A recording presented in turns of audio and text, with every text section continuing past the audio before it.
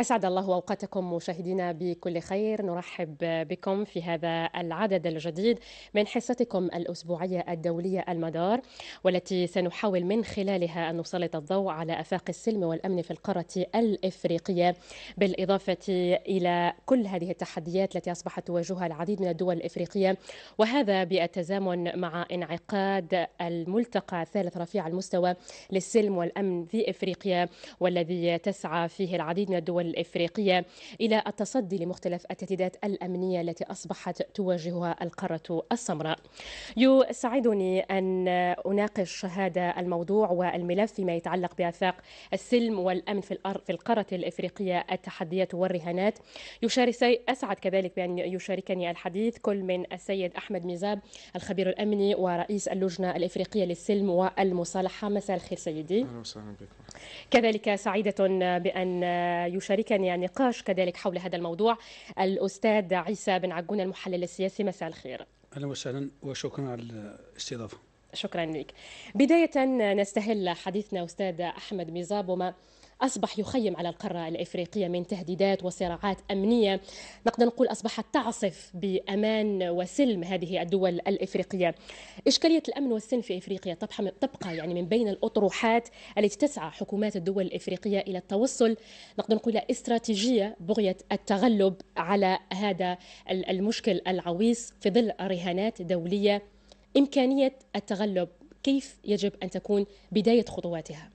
بداية شكرا على الاستضافة وكذلك أشكر الأستاذ الفاضل في اعتقادي بأن القارة الإفريقية منذ القدم وهي تشهد رهان أو البحث على كيفية تحقيق السلم والأمن. خاصة حينما نتحدث على قارة استعمرت وكذلك انتهكت سيادتها لعدة مرات.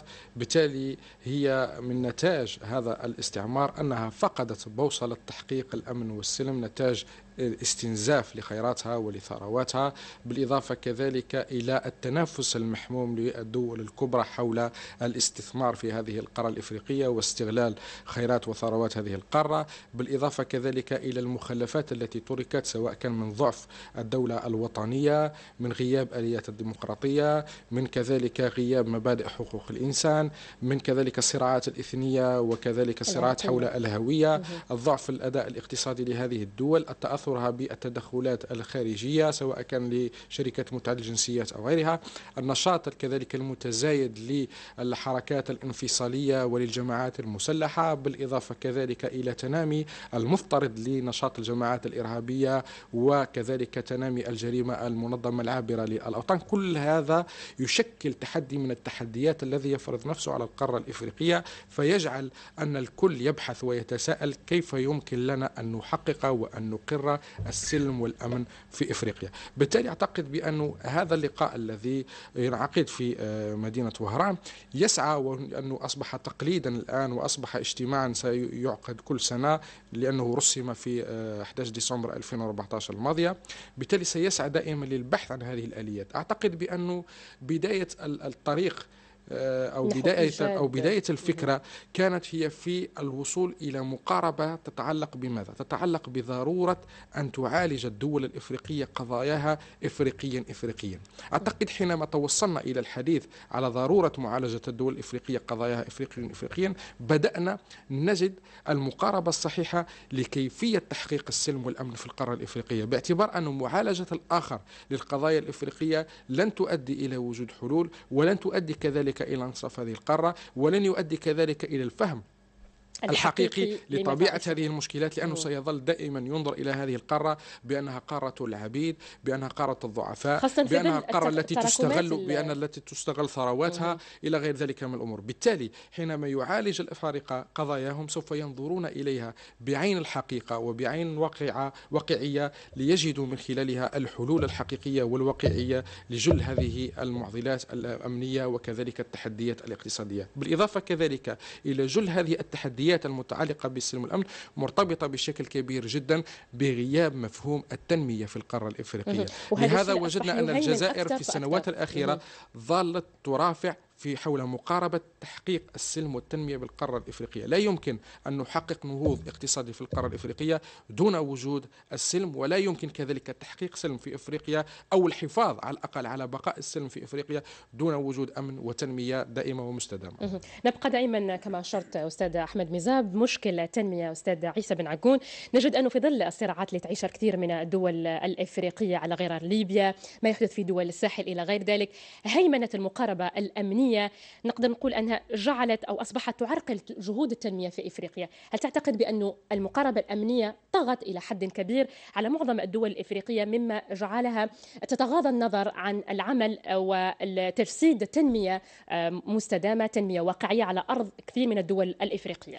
يعني في الحقيقة بداية لو كان تسمحي نرجع شوية للتكملة واش قالوا الأستاذ مزاب فيما يخص إنه قبل ما نتكلموا تتكلموا على أساس التنمية ومقاربتها مع الأمن في إفريقيا أنا يظل نرجع إلى قاعدة أساس أساسية وأصيلة. لماذا الآن إفريقيا في هذه الأزمات وفي هذه الصراعات وفي هذه النزاعات؟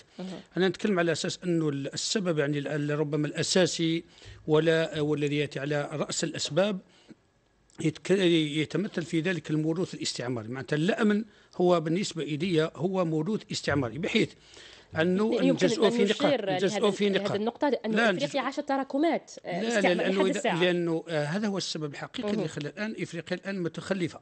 وربما في المقاربة أن البسيطة نشوف أن إفريقيا ما زال حتى السنوات ربما تمشي إلى عقدين أكثر من ثلاث عقود لربما تلقى يعني إمكانيات الخروج من هذه الأزمة والبحث عن بديل تنموي. فالأمن كيفاش أن الأمن هو موروث استعماري بحيث انه الاستعمار في الاستعمار خصوصا الاستعمار الفرنسي اللي هو الذي طغى على أغلب الدول الإفريقية وأغلب الإمبراطورية الفرنسية استعمرت أغلب الدول الإفريقية. فنجملها في نقاط معينة. اولا انه ركز هذا المستعمر خصوصا الفرنسي ركز تركيز القوة والسلطة في أيدي قبائل غير قبائل أخرى. حتى في إفريقيا في أي دولة. أولا قسم الدول على غير على أمور إثنية. ومن خلال أنه نقل قبائل إلى مناطق وإحداث تشكيلات سكانية غير متجانسة. أدخل قبائل في قبائل أخرى وقسم قبائل كبيرة إلى قبائل فرعية. والفرعية نقلها إلى مناطق واحدة أخرى ومن ذلك أوجد مناطق وتشكيلات سياسية غير متجانسة.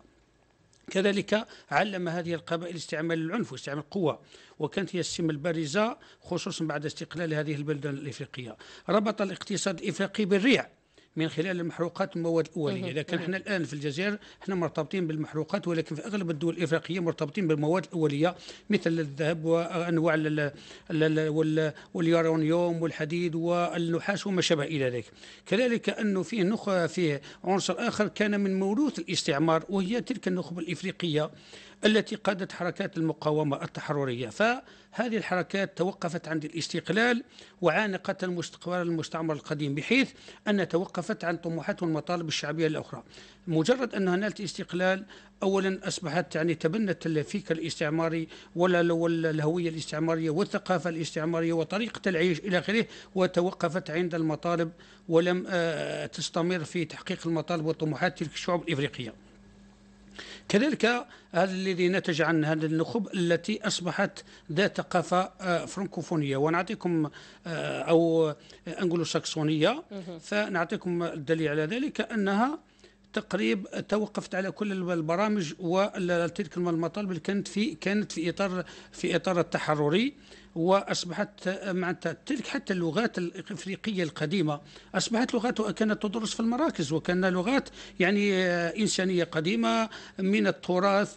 وتخلت هذه الدول الإفريقية على لغاتها الأصلية وأصبحت تتبنى يا إما الفرنسية أو الإنجليزية أو البرتغالية أو في بعض الدول فيها الألمانية والإيطالية وما شابه ذلك فأظن أن المستعمر كان له دور كبير في تخلف إفريقيا الآن نعود نربطه نقدر نقول أنه أستاذ يعني عندنا على نعم. المقاطعة في هذا السياق الآن بالتنمية. الاستعمار يعني ترك مخلفاته والمتعارف عليه نعم. أنه الصراع في إفريقيا هو صراع دائما على النفوذ وعلى السلطة وعلى المال نعم. هي من أبرز الثلاث عناصر التي تؤدي إلى مختلف الصراعات نعم. في إفريقيا نعم وتلك معناتها المخلفات التي كانت عبارة في التي زرعها الاستعمار. وحتى كانت هناك حركات تحررية واحدة أخرى توقفت عن عند عند الاستقلال عن الاستقلال مباشرة وأصبحت هذه القبائل وهذه القوى التي كانت في إفريقيا والتي كان لها دعم بعد ذلك من القوى الاستعمارية القديمة آه، أصبحت تسلطت على تلك الدول وعلى تلك الشعوب وتوقفت عن في آه، آه، في في نقطة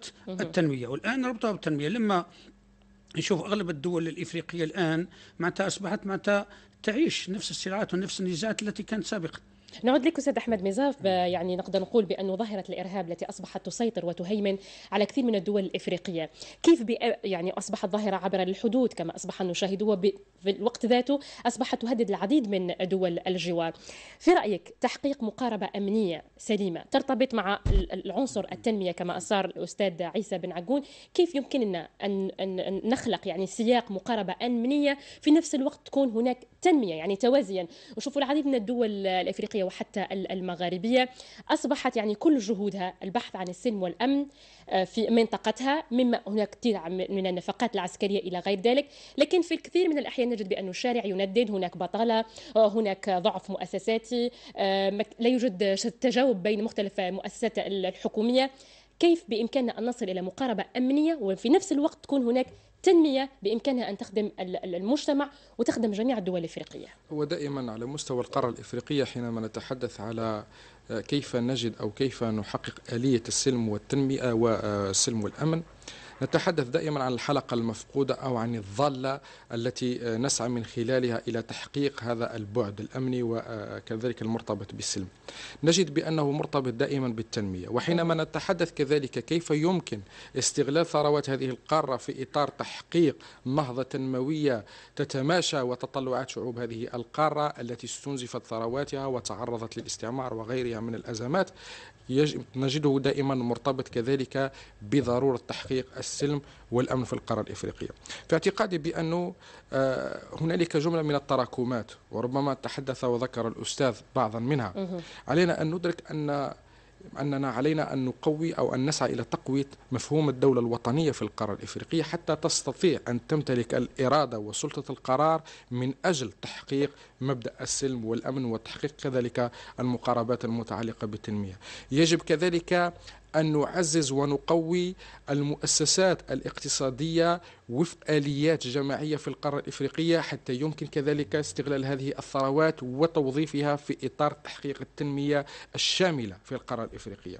يمكن كذلك أن نتحدث على ضرورة كذلك عدم التأثر بالتدخلات الخارجية التي لطالما نخرت جسد هذه القارة وجعلتها قارة مفككة أو مشتتة بدل أن تكون يدا واحدة تتجه نحو تحقيق الأبعاد الحقيقية التي سطرت من أجل النهوض بهذه القارة. علينا كذلك أن نتجاوز الخلافات الداخلية المتعلقة بالصراعات الإثنية المتعلقة كذلك بمشكل الهوية وبالتراكمات أو الإرث الذي تركه الاستعمار خاصة في مسألة رسم الحدود وغيرها من المشاكل التي تظل دائما قائمة وحائل دون تحقيق مبدأ السلم ودون تحقيق كذلك مبدأ التنمية. أستاذ عيسى بن عقون دائما في نفس السياق وفي تحقيق آفاق السلم والأمن في القارة الإفريقية. هل تعتقد بأن توحيد الجهود فيما يخص يعني إقناع الكثير من المجموعة الدولية بالمقاربة الإفريقية القائمة على ضرورة تفعيل الحل السلمي لحل مختلف النزاعات؟ هل تعتقد بأن هذه المقاربة حتى أن نرسخها لدى الغير تحد أم رهان في الظرف الحالي؟ في الحقيقة آه، هناك يعني معادلة. لما نقول تنمية معناها تساوي أمن.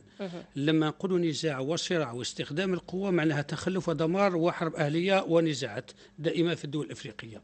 ربما يعني إذا كان ربما نصح في واحد الإطار على أساس أن المقاربة الأمنية الآن هي مقاربة إفريقية إفريقية لأن القوة العظمى أنا شخصيا معتقد وجازم في الاعتقاد أنها تساهم في دمار القارة الإفريقية. هي دائما تصب في البحث عن مصالح. لا يعني الكلام يتكلمون ربما واقعيا ولكن من ناحية الواقع من ناحية يعني في أرض الواقع فهم فهم آه، يدعمون هذه الصراعات وهذه النزاعات. ولذلك لا لأنه هناك لوبيات وجماعات مثلا اقتصادية عالمية جماعات لوبيات السلاح لوبيات معناتها الشركات المتعددة الجنسيات خصوصا الشركات التي تعمل في إطار المحروقات تعمل في إطار المواد الطبيعية الثمينة مثل اليورانيوم والذهب وعلى تلك الشاكلة.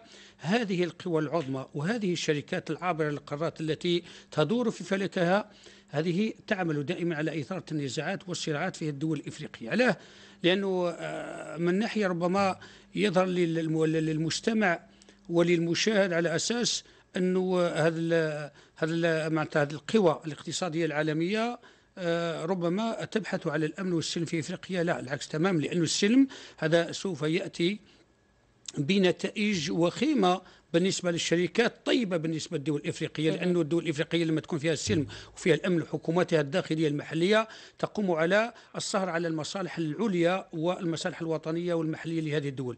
ولكن لما تكون في صراعات ونزاعات معناتها آه، تلك الشركات العالمية والقوى العظمى هي التي تضغط وهي التي آه، التي تفرض شروطها.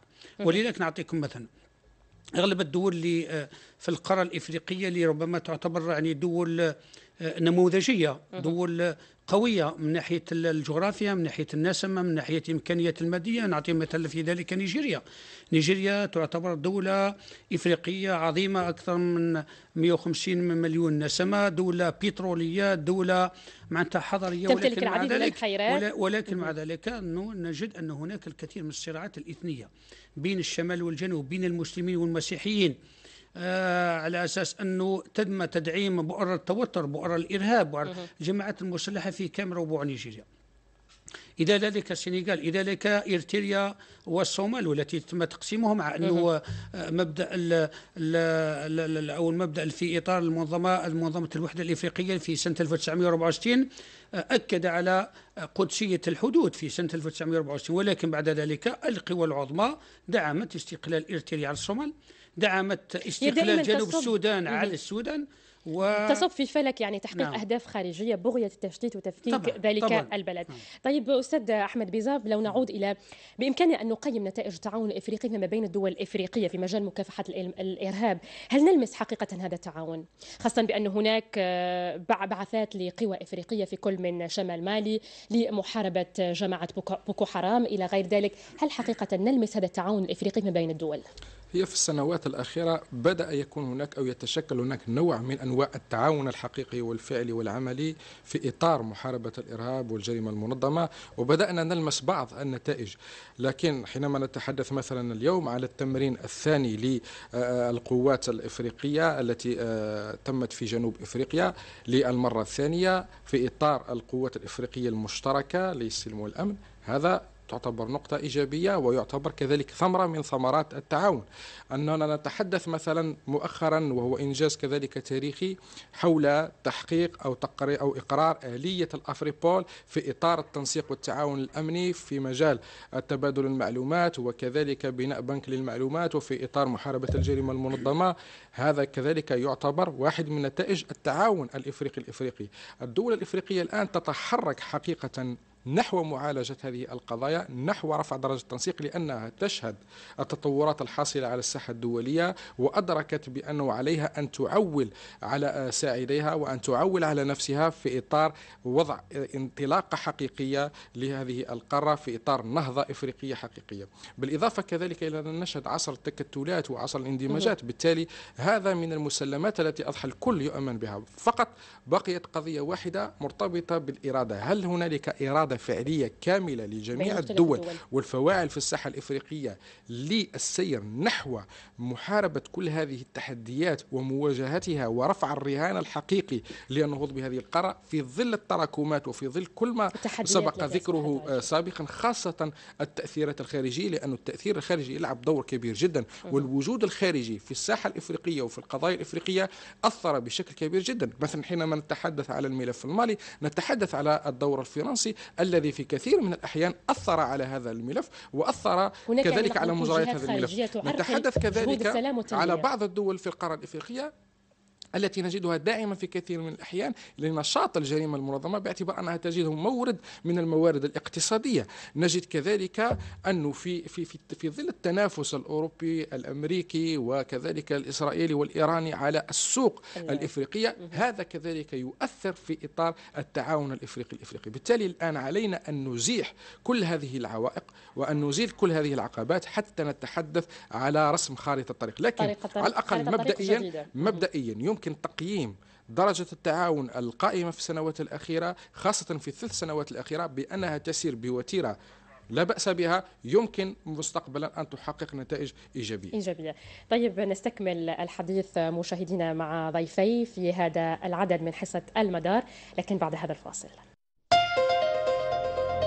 أهلا بكم مشاهدينا لاستكمال ما تبقى من حصتنا الأسبوعية المدار والتي سلطنا الضوء عليها في هذا العدد حول السلم والأمن في إفريقيا التحديات والرهانات.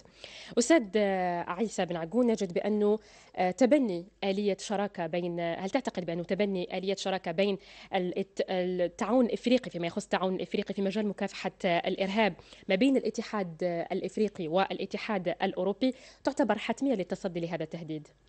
نعم كل ما تخدمه الآن إفريقيا والدول الإفريقية والنخب الإفريقية في الحقيقة هو هو جيد باعتبار أنه حتى ما لا كما على أساس تطبيق المقولة القائلة ما لا يدرك كله لا يترك جله. الآن حقيقة الدول الإفريقية الدول الإفريقية والقارة الإفريقية يعني واقعة تحت يعني ظل النزاعات والصراعات وتأثيرات خارجية ولكن مع ذلك فلا بد يعني من تحقيق بعض البرامج تحقيق يعني أو تنفيذ بعض التوصيات التي خرجت بها اللقاءات والمؤتمرات الإفريقية فيما يخص الجانب الأمني. الجانب الأمني الآن إذا نظرنا على أساس العلاقات الإفريقية الأوروبية في الجانب الأمني نرى على أساس أنه الدول الأوروبية لا تطلب من الدول الأفريقية إلا ربما ما يساعدها. من خلال ذلك تطلب منها توقيف الهجرة. مع أن أوروبا الآن ربما كانت السبب الرئيسي والأساسي في تهجير تقريبا الآن القارة الإفريقية. لها القارة الإفريقية وكأن عندنا منطقة عبور يعني في الحقيقة دائمة. ولو كان ربما عندنا الآن يعني يعني قطار سريع اللي ربما يمر وسط إفريقيا الآن إلى من القارة الإفريقية إلى أوروبا ربما سوف يكون يعني مليئا يوميا. معناتها الهجرات سوف لن تتوقف. فالأوروبيين الآن في الجانب الأمني ربما يتجاوبون مع الدول الإفريقية فيما يخص ربما الجماعات المسلحة والجريمة المنظمة وفيما يخص المخدرات إلى جانب كذلك طالبهم في توقيف الهجر ربما الدول الإفريقية لا يساعدهم العنصر الأخير لأنه اولا نعم الدول الإفريقية من من من من برامجها توقيف مع الجريمة المنظمة والقضاء عليها ومحاربتها.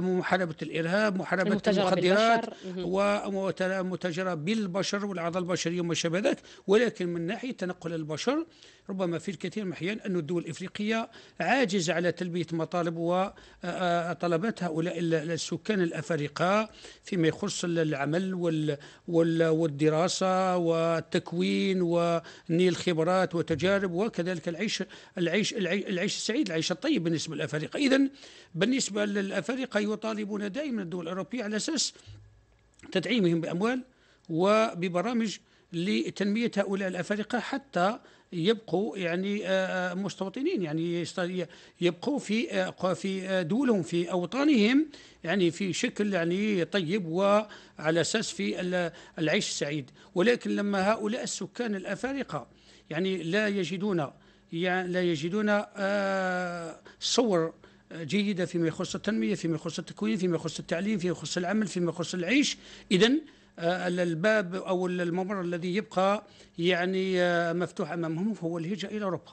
ولكن هذا بالنسبة إلى أفريقيا سوف يؤدي بكوارث منا آه، منها استنزاف قدراتها نعم من جهة. قدرات البشرية لأنه قدرات أغلبهم شباب وفيهم المتعلمين وفيهم معناتها الأطفال الذين يعتبرون سواعد المستقبل لبناء هذه الأوطان. معناها في في الجانب الآخر معناتها لابد تكون مقاربة حقيقية فيما يخص يكون هناك توازن ما بين توازن. كل كل نعم. الدول توازن بين الأفارقة وبين والدول الأوروبية أستاذ أحمد ميزا مفوضيه السلم والأمن التابعه للاتحاد الإفريقي يعني مؤخرا نظمت مناورات عسكرية في جنوب إفريقيا قبل أيام قليلة والجزائر كذلك أرسلت وحدات عسكرية ما مدى نجاعة هذه نقول المناورات العسكرية على أرض الواقع وما انعكاسها على دول الجوار. هي بداية هو السعي لمفوضية السلم والأمن التابعة للاتحاد الإفريقي في إطار البحث على تدابير للتصدي لبؤر التوتر.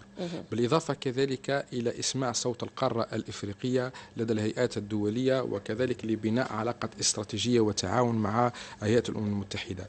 انطلاقا من هذا الأساس توجه كان هنالك توجه نحو بناء قوة إفريقية مشتركة على أساسها يمكن أن تتدخل هذه القوات في فض النزاعات وفي كذلك ضبط الأمن والسلم في القارة الإفريقية في عديد من البؤر. المناورات هذه تأتي في إطار التحضير لجملة من العمليات التي ستكون مناطة لهذه القوة الإفريقية المشتركة سواء كان في إطار مجابهة التغول الذي أضحى يهدد العديد من الدول الإفريقية يعني من قبل من قبل بوكو من قبل بوكو حرام. أكيد. ويجب القيام بالعمل المسبق لأنه لا ننسى الآن هو التحرك أولا على الطرق الدبلوماسية الحلول السلمية وكذلك الوقاية المسبقة من كل هذه الأزمات وخاصة هنالك أزمات عالقة تهدد الآن أمن واستقرار القارة الإفريقية حينما نتحدث على تنامي آه، مجموعة بوكو حرام التي تجاوزت الحدود النيجيرية ومست العديد من الدول. أن نتحدث كذلك على ضرورة ضبط الأمن والاستقرار في شمال مالي حتى يتم من خلاله تحقيق الاتفاق الاتفاقية التي وقعت وهي اتفاقية السلم والمصالحة في في مالي. نتحدث كذلك على أوغندا. نتحدث على كثير من المناطق وبؤر التوتر التي يجب بالتالي أن تطلع هذه القوات في إطار حفظ الأمن والاستقرار والسلم بالمنطقة. بالتالي أعتقد أن هذه المناورات أولا جاءت في إطار التنسيق والتعامل وكذلك بناء نوع من التكامل الأمني والعسكري بين القوى الإفريقية وتأتي كذلك في إطار دعم مسار الاتحاد الإفريقي الإفريقي وفي إطار البرامج المسطرة.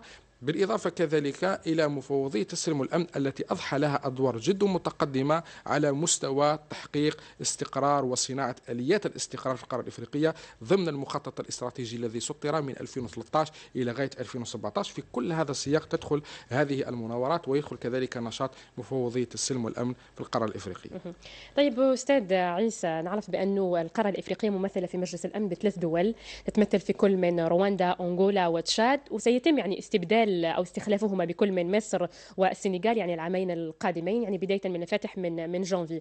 هل يستوجب على الدول الإفريقية يعني أن تدافع أكثر آه، على هذه المقاربة الأمنية بخصوص قضايا الإرهاب آه، ما أصبح يترصد بهذه الدول الإفريقية وتأكيد أكثر على أن القارة الإفريقية كفيلة بحل مشاكلها بنفسها دون تدخلات عسكرية خارجية؟ في الحقيقة يعني وجود ثلاث دول في مجلس الأمن الدول الإفريقية أو خمسة وعشرة حتى كان العدد أنت عشرة لا يؤثر ذلك على القرار مجلس الأمن باعتبار أنه قرار مجلس الأمن يأخذ به من خلال الخمسة الدول الخمسة الدائمة العضوية معناتها التي تتحكم في حق النقض أو حق الفيتو. معناتها الأمور الاخرى تعتبر عبارة عن شكلية والسياسة الدولية الآن في العالم تصنعها هذه القوى العظمى. ونقدر نعطيه مثال. على ذلك كما المثال اللي أعطاه الزميل في ميقوس مالي. مالي آه، كانت الدول الإفريقية بإمكانها أن تقوم بتشكيل قوة آه، قوة ردع إفريقية و إعطاء مثلا الوصول إلى حل نهائي في القضية المالية ولكن تدخل الإمبراطورية الاستعمارية السابقة اللي هي فرنسا في الأزمة المالية حل دون ذلك حتى أنه تقريب أغلب اللقاءات التي تمت في الجزائر وحتى إمضاء يعني يعني اتفاقية المصالحة في الجزائر وطبعا بعد ذلك في آه، في الدولة المالية. لحد الآن في خروقات أمنية. لا لأنه هذه القوى الاستعمارية السابقة التي كانت تحكم في في في في في هذه المنطقة من خلال تحكمها في في الموارد من خلال تحكمها في النخوم من خلال تحكمها في الأحزاب السياسية والمجتمع المدني. في هذه الدول الإفريقية دائما باستطاعة هذه القوى أن تغير من الواقع السياسي لهذه الدول. ونعطيكم مثلا ربما نخرج من الدول الإفريقية في ما يخص سوريا فيما يخص العراق. نشوف الآن أغلب انه القوى العظميه مثلا من ناحية عندنا روسيا أو الولايات المتحدة الأمريكية أو فرنسا أو بريطانيا معناتها هي التي تصنع الواقع والصورة الحقيقية الأمنية في هذه المناطق.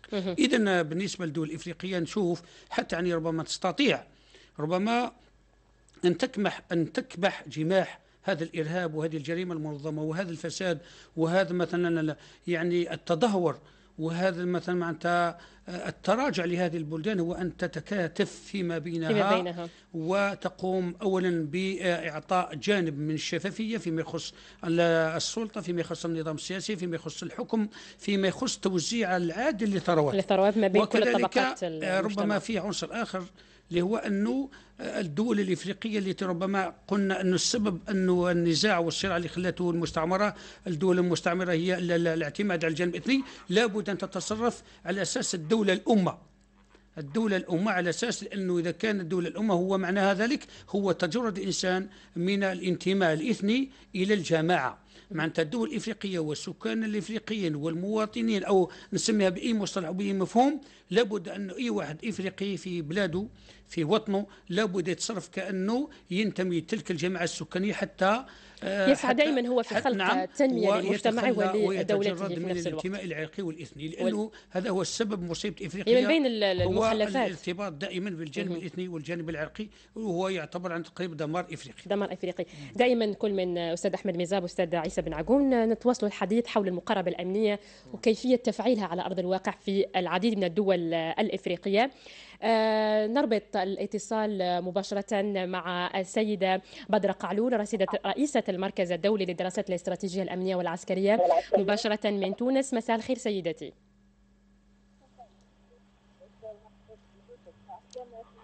مساء الخير سيدة بدر قعلول رئيسة المركز الدولي للدراسات الاستراتيجية الأمنية والعسكرية. أنت معنا على المباشر من تونس.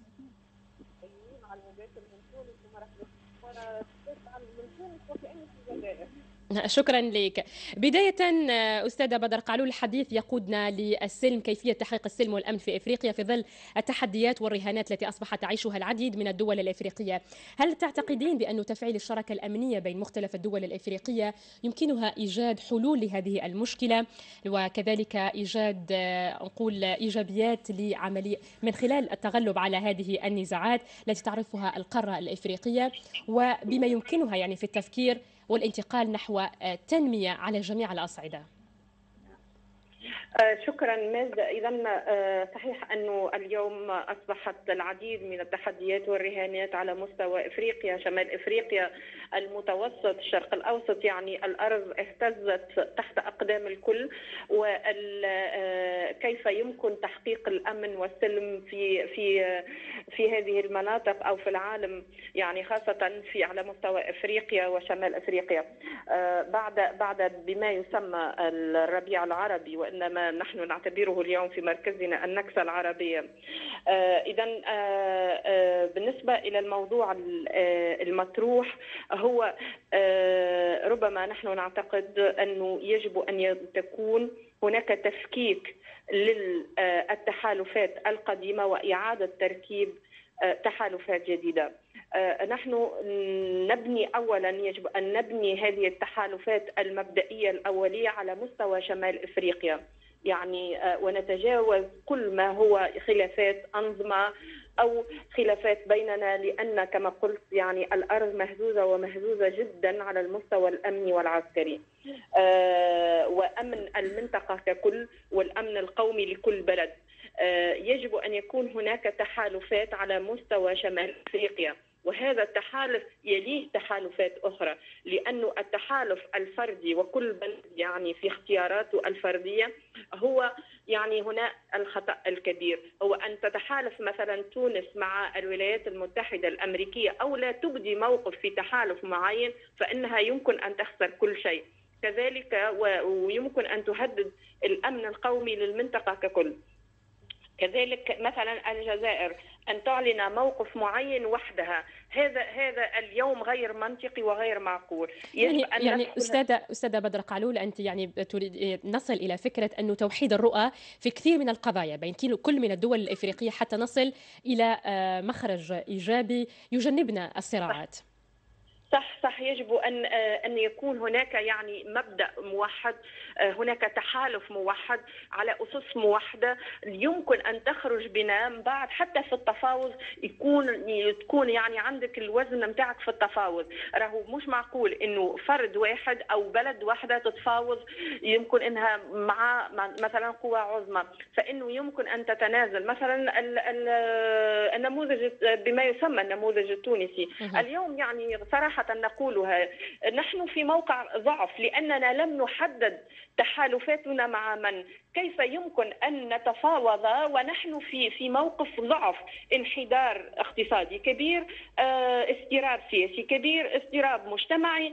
الأمن يعني ونحن نشاهد هذه معناها تشاهدون أن هناك العديد من العمليات الإرهابية وتونس مستهدفة من الجماعات الإرهابية والجنوب التونسي مستهدف. لنا لنا مستنقع كبير اسمه الجارة ليبيا يعني والتفكك الكبير في ليبيا واللا دولة في ليبيا. آه، يعني مصر آه، كل هذه هذه المنطقة يعني هي مهتزة. يجب أن يكون هناك توحد ما بيننا. على القليلة عنا أصول واحدة. على القليلة عنا معناها خارطة جغرافية واحدة. على القليلة عنا مبادئ واحدة مرجعية واحدة. حتى نجموا أولا نحققوا الأمن الأمن الأمن آه، القومي. ثم ننطلق إلى تفاوض في الأمن معناها على مستوى القارة أو على مستوى البلدان العظمى. يعني ويجب أن توضع هذه الخيارات خيارات مع من نتحالف وكيف يمكن أن نتحالف حتى يعني تكون فما نحقق الأمن للمنطقة. بلاش أمن راهو لا لا حراك اقتصادي بلاش أمن راهو لا تقدم يعني على مستوى الموارد البشرية. ونحن المنطقة كلها تزخر بطاقات كبيرة ونلاحظ أن هناك تهافت كبير جدا على المنطقة وعلى إفريقيا ونعرف أن الكل يريد أن يتموقع يعني هذا لتحقيق لأهداف واستراتيجيات معينة في المنطقة الإفريقية بالنظر إلى الزخم والخيرات التي تتمتع. بها أكيد أكيد. ولهذا نحن في المركز يعني آه، وش يكون معنا في سيد احمد ميزاب يعني آه، يوم الجمعة إن شاء الله شاء الله. تكون عندنا آه، إن شاء الله باش يكون عندنا ملتقى إقليمي حول تداعيات نشر التنظيمات الإرهابية في شمال إفريقيا وجنوب المتوسط وضرورة التحالفات. يعني باش يكون باش تكون موجودة الجزائر تونس ليبيا مصر. يعني لهنا خلينا خلينا نبدأو. نشوف نوحدوا الرؤية الرؤية من بعدها ننطلق لتحقيق هذه الأهداف على أرض الواقع. السيدة بدر قعلو رئيسة المركز الدولي للدراسات الاستراتيجية الأمنية والعسكرية. كنت معنا على المباشر من تونس. شكرا لك على هذه التوضيحات. شكرا. شكرا لك. نعود ليك على ذكر اسمك أستاذ أحمد مزاب يعني السيدة بدر قعلول أشارت إلى أن هناك مشكل تحالفات في كثير من الدول الإفريقية. نقدر نقول مع من نتحالف ضد من نتحالف وكيف بإمكاننا أن نقضي على هذه الإشكالية في الوقت الراهن؟ نحن اولا عندنا إشكالية قبل ما نتحدث على كيف نبني تحالف وعلى أي أساس يقوم التحالف. عندنا إشكالية ضبط المفاهيم. مفهومنا للإرهاب ربما ليس هو مفهوم بعض الدول الأخرى أو مفهوم الدول الأخرى أو رؤيتها للإرهاب ليس هو ذاته رؤيتنا. لأنه في كثير من الأحيان نصطدم بأن هنالك من من يوصف الإرهاب على على أساس سياسي أو على منطلق سياسي. هنالك من يعطي للإرهاب بعد طائفي من يعطي للإرهاب أبعاد أخرى. بالتالي علينا أن نوحد المفاهيم وأن نحدد كذلك ما هي الإشكالات التي نعانيها وما هي حجم التحديات التي نواجهها حتى نستطيع على أساسها أن نبني هذه التحالفات وأن نواجه لكن علينا نقول حينما نتحدث على قوة إفريقية مشتركة هذا نوع من أنواع التحالف الذي يستطيع أن يعمل في إطار درء هذه المخاطر وفي إطار مواجهة هذه المخاطر. خطر. الجزائر في 2009 حينما أطلقت مقاربتها حول منطقة الساحل في تجميع دول الساحل لملاحقة المنظمات الإرهابية كان نوع من أنواع التحالف لكن للأسف غياب مقاربة إقليمية يؤدي دائما إلى مثل هكذا تداعيات. لكن أنا في اعتقادي علينا أن لا نتحدث على تحالفات ضيقة علينا أن نتحدث على تحالف جامع. وقبل أن نتحدث على تحالف جامع دعونا نبني أولا رؤية شاملة لطبيعة هذه التحديات كيف يمكن نواجهها وما هي آليات المعالجة لأنه علينا أن لا نحمل في رأسنا فقط مفهوم الكل الأمني لأنه الكل الأمني لن يؤدي بتقديم نتائج. لاحظنا مثلا التدخل في العراق في سوريا في ليبيا إلى ماذا أدى؟ إلى ماذا أفرز؟ إلى ماذا أعطى؟ تداعيات وخيمة. بالتالي علينا أن نتحدث على التحالفات لصناعة الاستقرار ولصناعة لصناعة السلم وليست تحالفات لتصفية حسابات أو لتدخلات غير مدروسة وغير كذلك محسومة في ممكن أن تؤدي إلى ما هذا الأستاذ عيسى بن عجون يعني وصلنا إلى ختام هذا النقاش يعني باختصار هل بإمكان أن نشهد إفريقيا تعيش في ظل سلم وأمان؟ نعم إذا كانت فيه يعني النية والأمل. والعمل المشترك في إطار خدمة إفريقيا سيكون ذلك ولكن اولا نشوف الآن الكثير من الأموال الإفريقية لأصحاب الأموال وحتى بعض الدول الإفريقية التي كانت لديها إمكانيات مادية أموالها لا تقوم ب آه، آه، مثلا آه، إخراج نسبة معينة من ذلك المال واستثماره في الدول الإفريقية. نعطيك مثلا. يعني ربما هذه نتكلموا على أساس أنه حتى ملاحظة حتى لبلادنا يعني في بلادنا في يوم كانت البحبوحه المالية كانت باستطاعة يعني الحكومة الجزائرية أن تضع 60 ولا 70 ولا 80 مليار دولار نعم. وتستثمر في إفريقيا مثلا في نيجيريا مثلا في السنغال جنوب إفريقيا وفما بالك معناتها رؤوس الأموال الآن الافريقيه كلها تخرج للخارج. يعني أستاذ يعني لأنه وقت البرنامج يعني انتهى يعني نشكرك جزيل الشكر. يعني هناك في أمل ويبقى أمل أنه بإمكاننا أن نشهد إفريقيا. ولكنه على المستوى على المدى المتوسط ما زال شوية بعيد. إن شاء الله. يعني نتمنى ونتفائل خير لقارتنا الإفريقية. الأستاذ أحمد ميزاب الخبير الامني ورئيس لجنة الجزائرية الإفريقية للسلم والأمن. آه، شكرا جزيلا على كل هذه التوضيحات. سعدنا باستضافتك. الأستاذ عيسى بن عجون المحلل السياسي كذلك شكرا لك على كل هذه التوضيحات. مشاهدينا بهذا نصل وإياكم إلى ختام هذا العدد. شكرا لكم. أطيب التحيات. والسلام عليكم.